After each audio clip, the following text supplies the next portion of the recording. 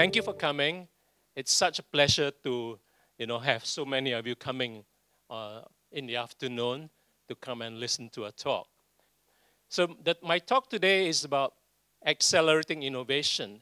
I was very, very interested in the creative problem solving process in teams. Because, you know, in advertising agency, we are always at brainstorming.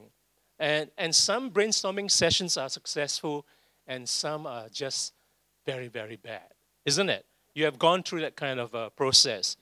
And I became very intrigued by how people behave during brainstorming sessions and creative problem solving sessions. So I did a lot more research into that. I designed a creative thinking course, a module for students, undergraduate and postgraduate students.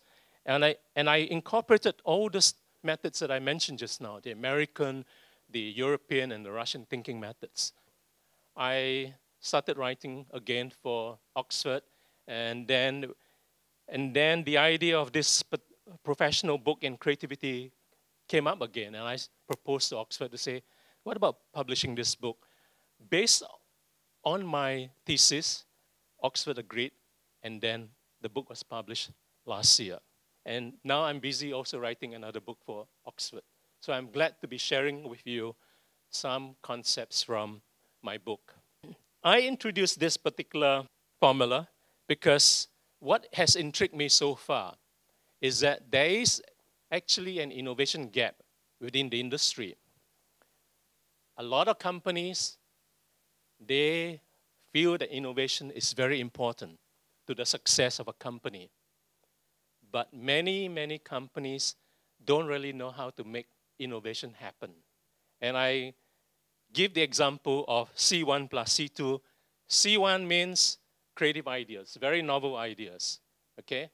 Many people can actually come up with creative ideas.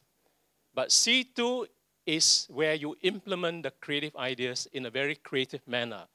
Because if you don't implement the ideas, what happens? The ideas are just in your folder, your file, and so on. They don't become innovation. Inno innovation happens when you implement creative ideas. So you must have a combination of C1 and C2. C1 of creative ideas and C2 of creatively implementing the creative ideas to have innovation happen. But that doesn't seem to be happening in many companies. They're very good at C1 and they're not very good at C2. So I'm going to share with you some concepts that I extracted from my theory and did a bit more research into the industry. When you listen to me, don't take down every word I say, because that's one sided kind of listening. What I encourage you to do is to make your mental connections when you listen to me. Because your brain is so powerful that when you listen to a speaker, your mind is thinking at the same time of shopping and what to eat and what to do, different things. Your mind has that capacity. Betul, ah? betul, right? Yeah. So, you know, that's why I encourage you to use your mental capacity to actually listen and think, connect, connect at the same time. Okay? Because if I say black, you may think of something else. You know? Don't just write down black. Because that's only my word. Really. That's the external thing. For example, I may say innovative companies. Those are my words. Some of you may be connecting, hey, innovative companies in Indonesia could be Unilever Indonesia, could be Indomie, could be Teh Botol. I wrote down these because I was Googling. I was Googling innovative companies. And the one company that keeps on coming up is Unilever Indonesia in Forbes, you know, most innovative companies list over the years. Theory from my thesis was based on the, the theory of creativity catalysts that can actually spur teams to accelerate innovation and creativity in groups. I'm going to talk about modeling, and I'm not talking about, you know, catwalk modeling like that, you know. I'm talking about benchmarking, okay? Benchmarking, talking about role models from companies and people and countries and even nature. And, you know, even uh, modeling products that may currently not be working because many new innovative products arise because products are not working. And that's why they are models for innovation. I'm also going to talk about immersing, immersing teams into creative problem, problem solving sessions, whether it's 24 hour kind of immersion or one week or two weeks and so on. Okay, uh, very useful in cultural immersion programs where you immerse into something. I'm going to talk about collaborating because in the world of innovation, you cannot exist on your own, isn't it? Even in a taxi, uh, someone, my colleague was saying, there's collabor collaboration co between Gojek and uh, the taxi, Bluebird. So that's collaboration already, isn't it? Uh, to try to uh, make innovation happen faster. Then I'm going to talk about connecting, connecting all the different ideas and experiences that team members have. Because some of you may be trained in American way and uh, European way, Russian way, Australian way, Indonesian way of thinking. And you have all these experiences. How do you connect and take advantage or, or leverage those experiences? So these are the concepts I want to share with you. Okay, so the question I'm asking you now, who do you model? Who can you model? Person, company, country? Different companies will have different models. Singapore, many, many decades ago, modeled Switzerland, the Swiss standard of living. And that was the vision to drive Singapore. Singapore also modeled Japan because of productivity. And because of that modeling, Singapore introduced the study of mathematics and science so, and has benefited. So you can model different companies or people or, you know, um, or persons, okay? Then what about this famous person? Why do you think some people model Leonardo da Vinci? Very creative, very multi-dimensional, you know, very cross-disciplinary. He could design, you know, from military to um, bridges and, you know, things like that. Uh, and he was way ahead of his time. And who do you think currently is using Leonardo as a model? A, a famous guy, Bill Gates. You know, he, he was so intrigued by Leonardo's uh, kind of innovation that he actually invested 30 over million dollars just to buy Leonardo's manuscript and display in his office as an inspiration of what is possible. Because Bill Gates is also you know, innovating in different ways. So even famous people now can use a model from the past. Okay? Steve Jobs, he modeled after Edwin Land, the inventor of Polaroid, because Edwin Land was able to combine you know, art and science and technology and so on. And Edwin Land was a dynamic presenter. So when you watch Steve Jobs you know, presenting, he was a dynamic presenter. It was something that he modeled Edwin Land. Then if you research into Steve Jobs again, you find that the, the younger entrepreneurs, the technology entrepreneurs, actually use Steve Jobs as a model. Google, Facebook, and so on. And Steve Jobs also learned a lot from other people. Sony, he learned from Sony how to simplify the brand name. Because Sony had a long name before, Telecommunication Company of Japan, very long. So Steve Jobs and his partner said, we must have a name short and simple to understand. He modeled Pixar because when Steve Jobs was with Apple at first, he was a very nasty boss. You know, he was, if you read the history of Steve Jobs, he was very nasty treating people. But when he invested into Pixar after being fired from Apple, what did he do? He observed how Pixar managed creative people, you know, how to nurture creative talents. So when Steve Jobs went back to Apple, he brought the same principles of managing people from Pixar. Now, Ritz Carlton. What do you think he learned from Ritz Carlton? Hospitality. And where do you see hospitality in the Apple company? Apple Store. Yeah, excellent. Okay. Now, what do you think he modeled from Nike?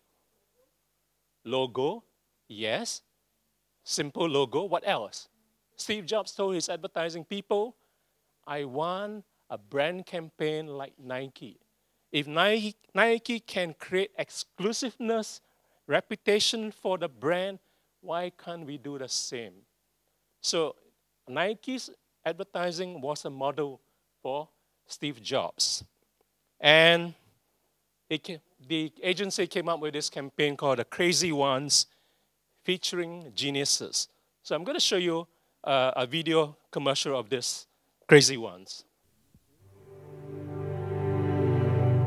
Here's to the crazy ones, the misfits, the rebels, the troublemakers, the round pegs in the square holes, the ones who see things differently.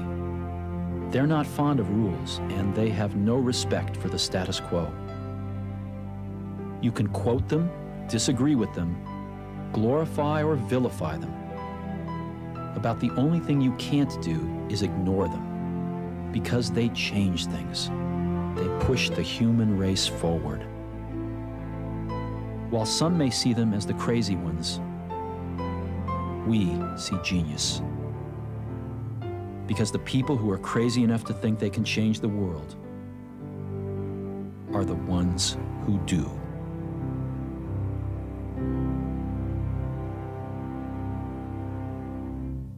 This campaign uh, somehow made Apple very exclusive. It opened up the eyes of many people because the campaign associated Apple with geniuses, with you know role models of the past, and also some in the present. There elevated the Apple image, and they continued through print and posters and, and all that, featuring different people. It was an interesting campaign, and the inspiration or the model was Nike a Nike kind of advertising that is very image enhancing. And that was how somehow Apple, with a new image, was able to continue uh, on a different kind of you know, uh, mission to produce innovative products. You can also model products and nature. I mentioned that you model products because very often you are not very happy with current products. Many housewives have done that. They look at current products, baby products, what, and maybe even clothing products, and they say, No, I'm not happy with these things. So, what do they do? They take that as a model, they improve, and then they launch new products. But what about nature? What can you model from nature? Look at some of these pictures. The Sydney Opera House, according to uh, the design articles, the architect the Danish architect modeled nature. He looked at birds, you know, he looked at shells, he looked at the clouds and so on. And there was even one drawing where he looked at the orange peeling. You know, when you peel up, you get some, you know, strips. Can you look at the opera sails? It looks like uh, orange peeling, right? So he modeled from nature, okay? And this particular building in Zimbabwe. The owner briefed the architect and said, I want a building that does not use a lot of air conditioning because then it would be cheaper. So, where did the architect get an idea? From nature. The idea came from termites. Termites have a way of building their own kind of you know, house to allow air to flow through naturally. So the model came from termites. Okay? Innovation from modeling nature. You have the Bird's Nest Stadium. Very simple. And below that, you have the Durian uh, building in Singapore. The inspiration was a durian, you know. Uh, and then, obviously, this one came from the know, ship, okay? Uh, in the Singapore landmark. I'm sure in Indonesia, many architectural buildings have been modeled after some kind of heritage and, and legacy. Now, you, you look at the one in the center, Nike. It's actually the Nike waffle. Waffle. And the idea came actually from the waffle making machine. Because the designer wanted, you know, shoes that would have proper grip and that could actually be used on different surfaces. And he was in the kitchen with his wife, and they were uh, looking at a waffle machine, and the waffle machine has got grits. and he went to his lab and he experiment, experimented, you know, using the waffle grid to do the Nike waffle. So you model products, you model nature. The products may be the current ones are not giving you the satisfaction, or they could be products like the waffle that could be translated into um, shoes. Uh, if you research into some of the musical composers, they model nature, water, and, and puddles, and you know, and things like that. And the nature somehow gives them inspiration to compose music. Okay. Okay, I'm talking about immersing now, where you immerse the team into an innovation kind of event. It could be overnight, it could be a few days, few weeks, and so on. Okay? So, how do companies somehow immerse employees in innovation? Different ways. I want to talk about 3M. 3M is famous for its um, innovation time for employees, the 15%. You know, those who are passionate about an innovation project, the company would allow 15% time to invest in the project. And Google also has something similar, up to 20%. And then you have other companies that, for example, Procter & Gamble, they have an innovation center that they call Clay Street Project, where project teams would go there and then they would you know, immerse themselves using different techniques. I'll show you a slide later on towards the end. They use different techniques to immerse during that period to actually develop new products whether baby products or shampoos and so on. So that's the Clay Street project where they immerse themselves. Microsoft has got a 24 hour kind of immersion center. They call it the garage. So now they have about 20 garage centers around the world where they have project teams actually immersing themselves into some kind of uh, problem solving uh, sessions. Why do you think companies like that immerse employees like that very intensively? Sometimes intensity actually, you know, creates this adrenaline, you know, pressure, and you have to find some kind of solution over, overnight or within a few days. And that's why you have hackathons. The computing guys, you know, basically trying to create a, a program within teams. And now hackathon has been broadened to other kinds of projects, not just uh, computing. And then many companies have set up labs, laboratories, to actually, you know, experiment and explore, to immerse in some kind of problem-solving sessions. Now, immersing is something that we also do. For example, we send students to Indonesia we, in the ACICIS program, the Australian Consortium for In-Country Indonesian Studies. And the students come here on New Colombo Plan kind of funding. So we send students here for six weeks immersion, two weeks language studies, four weeks attachment uh, internship. So that's immersion. We also immerse students in projects. For example, we had 28 students working in teams of three, producing a book in nine days. So that's immersion. Immersing intensively in a project so I've been talking about modeling and immersing. Let me move on to collaborating as a catalyst because you need to collaborate, okay? In problem solving teams to get the ideas, C1, and also to collaborate to implement the creative ideas, the C2, so that you can have innovation. And how do they collaborate?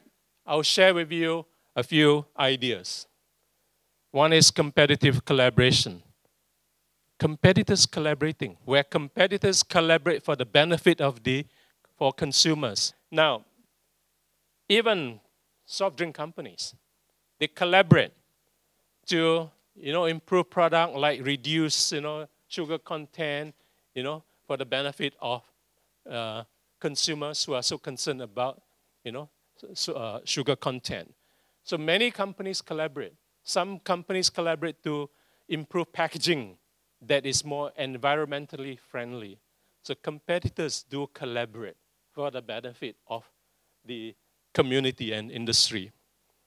This is an example of a geographical industry collaboration where tourism people with similar kinds of interests from east to west actually collaborate to attract people to this Savannah adventure drive. The people who collaborate, different businesses, councils, uh, information centers, and so on, you know, national parks, they all gather together to promote the Savannah Way. What happens if only one place were to promote? Then it won't gain the kind of massive attention, you know, uh, like this uh, collaboration has generated. So it's an industry cluster kind of collaboration, the tourism cluster in this case. Procter & Gamble is a classic example of open kind of collaboration with different people. You look at the example there, the mind map, from retirees to consultants to research labs to governments to retailers to competitors, venture capitalists, and so on. So how open they are. Because the philosophy of P&G is this. If I have 1,500 people who are researchers, and if I open up, you know, to tap into the, what's available out there in the world, I can multiply my capabilities and resources many, many times. So that's the beauty of an open collaboration like this.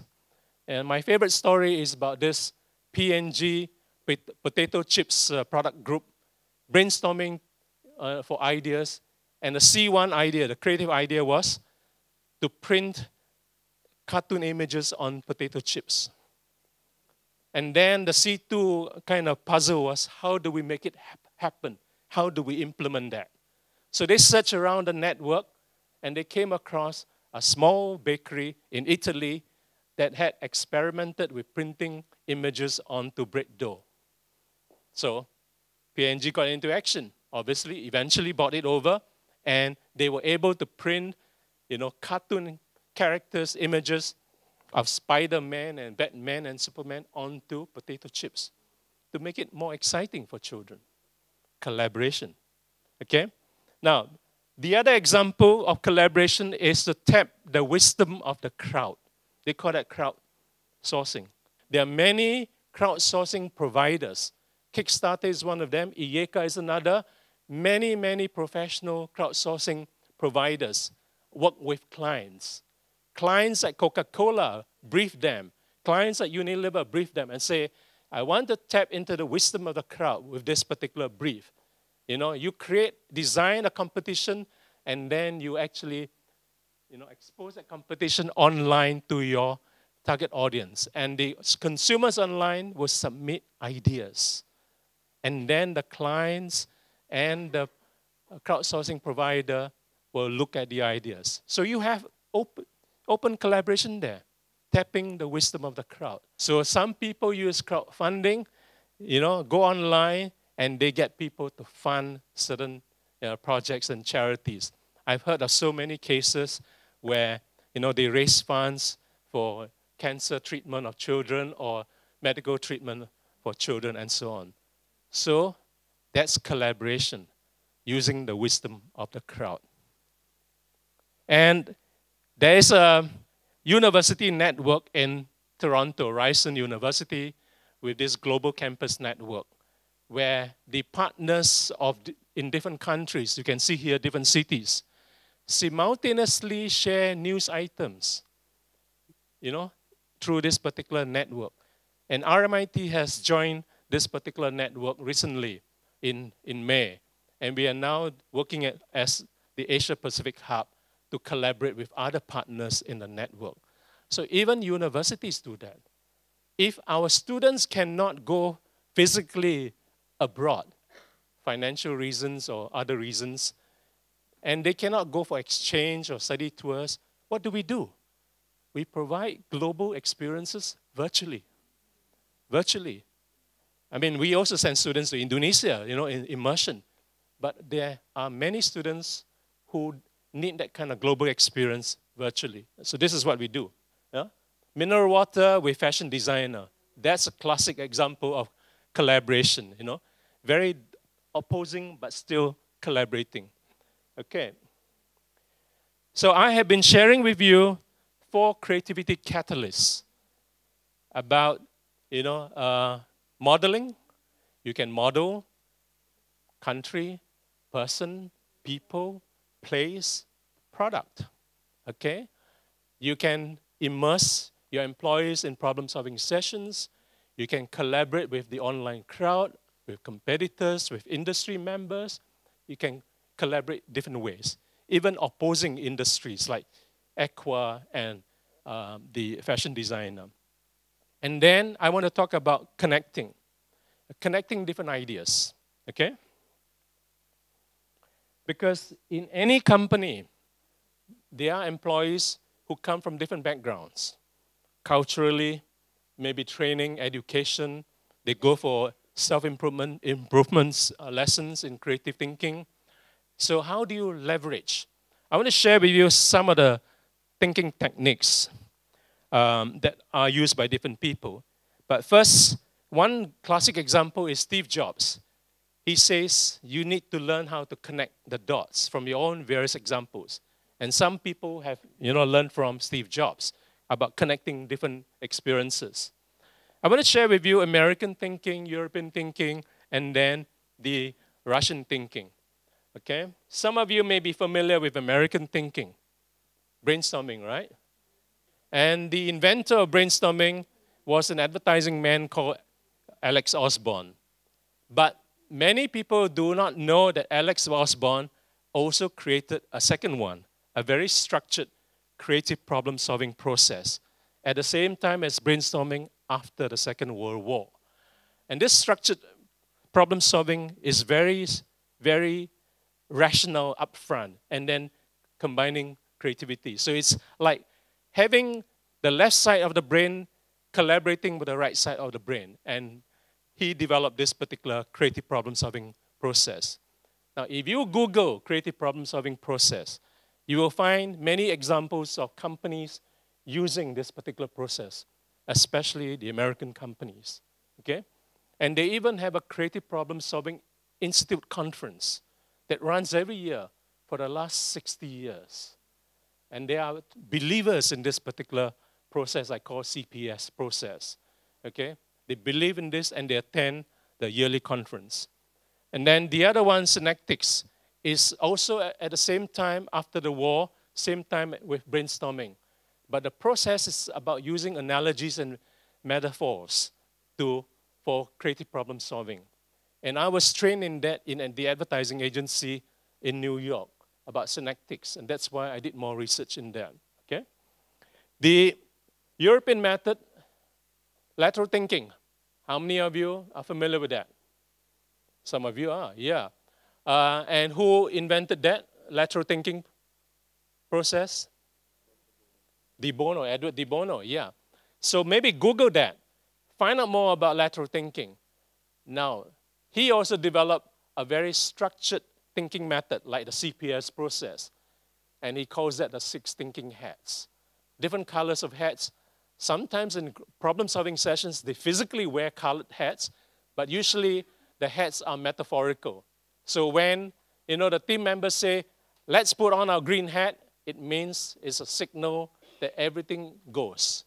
You can, you know, you can actually raise any kind of ideas anything goes. That's a green hat. Okay? And then when it, when it comes to, say, the, the black hat, then you express your, your concerns and your you know, critical, critical comments on that. That's a black hat. Because there are stages where it's green hat, there are stages where there's black hat, and so on. So if you want to find out more about this structured process, Google uh, the six thinking hats. And obviously, mind mapping. Many of you I'm sure, use mind mapping, right? And why do you like mind mapping? Tell me. Are you so many of you? Yeah. Why? Easy and creative. And the, the beautiful part about this philosophy of mind mapping is it's natural. Because they say your mind is like that, you know, c- connecting different thoughts and ideas together. Okay? Now, how many of you, when you do mind map, you like to draw? You like to draw, yeah. Some of you like to draw And some of you like to use different colors and so on. Some use mind, uh, words and all that. So mind mapping is very popular. In fact, uh, in my doctoral thesis, I use mind mapping to analyze different concepts and, and, and themes and all that. I use mind mapping to connect all the different ideas to synthesize ideas. So mind mapping is excellent, you know, uh, way of thinking or combining ideas. Then this Russian invention principle, uh, system of thinking. This, this Russian clerk was working in a patent office, and he found that people who registered patents had something common in common, and he calls that 40 principles. Principles like segmentations, principles like you know looking at the other way around, principles like deleting something important, principles like merging, things like that. So he had principles of uh, problem solving. And there are companies that actually look at the principles first to see what you know, has been done before by inventors before they actually try to solve the problem.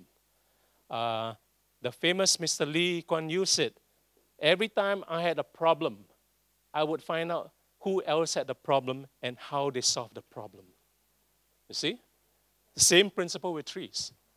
Who else had the problem and how did they solve the problem? Through the principles.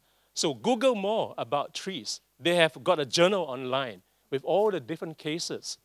Remember the, the famous SARS incident many years ago? SARS, the uh, severe acute respiratory syndrome. Yeah. There's a very, very useful article on how Singapore used SARS principles to tackle the SARS crisis. Google that and you will be fascinated by the principles that they use, like segmenting the sick from the non-sick by using you know, uh, some kind of infrared system to track uh, uh, temperature and so on. You see, SAR principles can be used to generate innovative ideas. Okay, P&G, classic example. They use different kinds of thinking methods. They combine the American, the CPS, they use synectic you know, meta metaphors, and they use mind mapping, the European method, they even use the, the Russian method. So they have different people trained in different techniques. And when the people go to the Clay Street project for immersion, they are exposed to different techniques, and the facilitator will use Zen, you know, uh, uh, mythology, and, so on, to basically get the teams to work innovatively. Okay? So P&G is a classic example, a good model for you. And my connection, looking at all the American and the European and the Russian, there is a pattern. I call it a CIA pattern. There's always a challenge. What is a challenge or what is the problem? And then the next stage is what ideas can you have for the challenge? And then what, how can you action it? So it's a C1 and a C2 to get the innovation. Now, when I was teaching um, at Edith Cowan in Perth, and I taught them the CPS process very structured. And then I told them my own connection, the CIA method, and they were grumbling at me.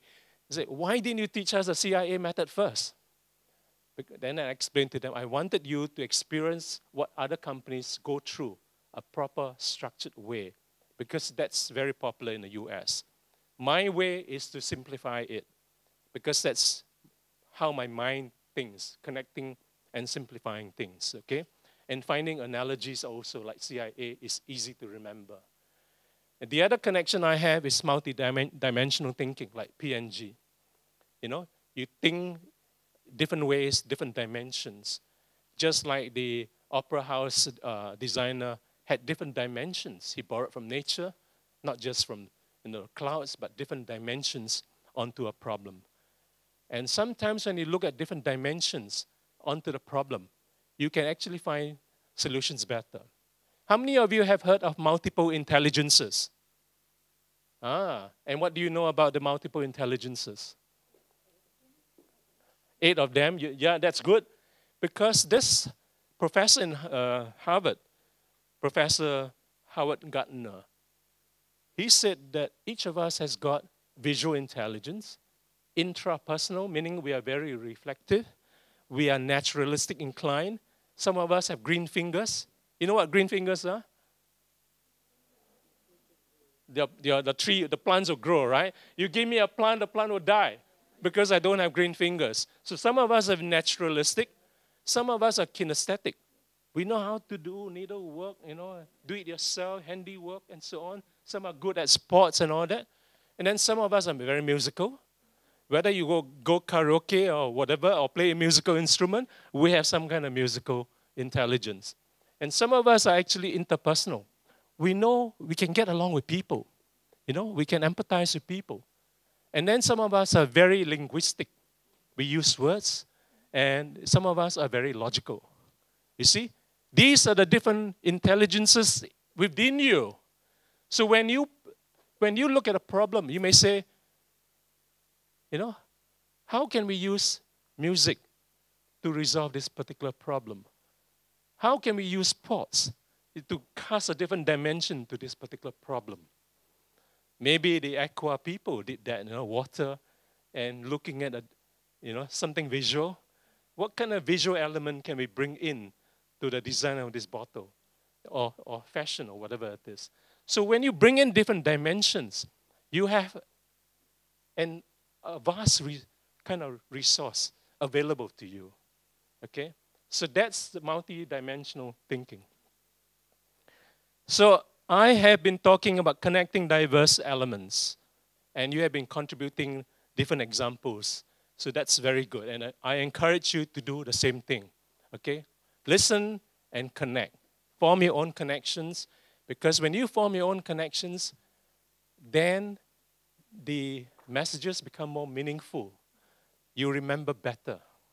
Just like I developed CIA, everything becomes more meaningful everything becomes more memorable. Okay? And if you use analogies, it will be very, very good. Most of you are involved in English language, language testing, right? Okay, and you talk about the four testing IELTS uh, uh, bands, right? You know what I did? I used the analogy of the swimming, uh, swimming medley relay to explain to students in China. I asked them, you know, what kind of sports do you play uh, or, you know, participate in? They say swimming. And I asked, because they, some of them are very weak in one of the four bands. And I asked them, if you are a medley swimmer and you have to be good at four different strokes, what are the four strokes?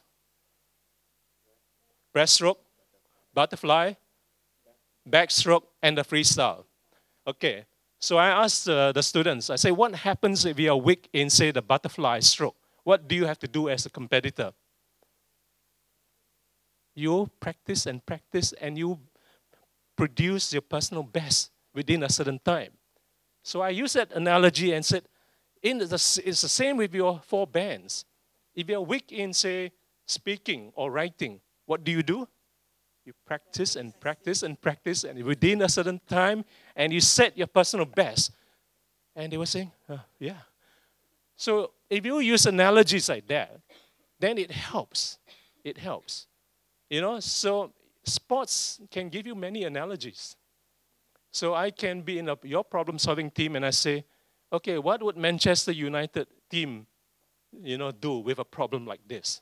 Maybe soccer but maybe they have a different perspective and dimension. So I hope I have opened up your minds to some possibilities. So I have shared with you four creativity catalysts from modeling to immersing to collaborating to connecting. Although I presented in that order, you don't have to use them in that order. You may want to begin with okay, Modeling. Who do I want to model? Or which company? Who do I want to model? And you may want to move on to collaborating. Who can I collaborate with? Consumers, competitors, industry. Okay? Because once you model, you have a vision there and you want to go ahead. But you cannot work alone. You need, you know, to find collaborators. And then you may want to find out, you do, you may want to find out the kinds of talents and skills your employees have. They may want to do an audit. How many of you, of your employees, have been trained in maybe uh, mind mapping or brainstorming or Six Sigma or whatever it is? You do an audit. And then you may get them into an immersing kind of event, you know, like an innovation camp. And then you use all those different experiences to produce some kinds of C1 ideas. And then you have to take on another step to have C2 kind of creativity to implement and achieve your innovation. So the process is very fluid. You don't have to be rigid in that sense. Okay? Or some of you may just want to start with uh, immersing first and then take it from there. Because during the immersing sessions, the facilitator may ask, okay, if you have a wish and you could be maybe a company or a person, who would you like to be? So during the immersing session, a very experienced facilitator can ask questions like that, you know? Uh, and then the facilitator may ask, you know, if you could find a collaborator, who would you like to collaborate with? Again, the same thing. And then you take it from there. Okay, so it's a very fluid kind of process.